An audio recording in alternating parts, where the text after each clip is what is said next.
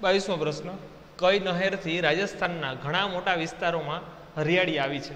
આની અંદર આન્સર આવશે, ઇન્દિરા ગાંધી નહેર.